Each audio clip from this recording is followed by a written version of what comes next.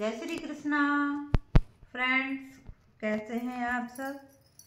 देखिए फ्रेंड्स ये मैं आपके लिए एक हाफ़ जैकेट लेकर आई हूँ, जो कि बहुत सुंदर है, बहुत ही प्यारी, बहुत ही अच्छी फिटिंग है। तो आइए, पहले हम इसको दोनों तरफ़ से देख लेते हैं। ये हमारा आगे का है।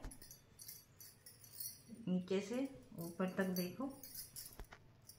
और ये हमारा पीछे का है, बैक साइड है। इसमें आइए मैं सबसे पहले ये पीछे से ही आपको दिखाया है। इसी को बताना शुरू करती हूँ। ये मैंने नब्बे फंदे डाले हैं और नौ नंबर की सिलाई से बुना है।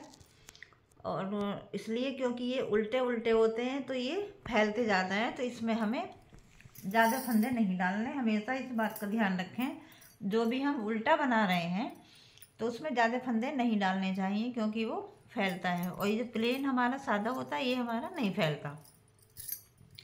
तो ये मैंने बीच बीच में दस उल्टे हैं, एक सीधा है, दस उल्टे हैं, एक सीधा है।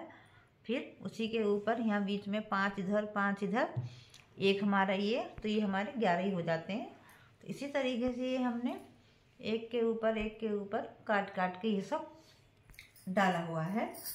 और ये ये मैंने इसको बॉर्डर का रूप देते हुए इस बुनाई का ये बॉर्डर बनाया है। और ऊपर ये, यहाँ तक प्लेन रखा है। लंबाई आप अपने हिसाब से रख सकते हैं। कितना लंबा, कितना छोटा, कितना बड़ा आपको बनाना है। और ये मैंने मुड्ढे जब मुड्ढे काटे हैं तो पूरी ये बुनाई डाल के फिर ये मुड्ढे मैंने काटने शुरू किए तो इससे हमारा ये अलग ही यूनिक सा डिज़ाइन बन जाता है, जो कि बहुत ही सुंदर लग रहा है। और ये हमारा आगे का है।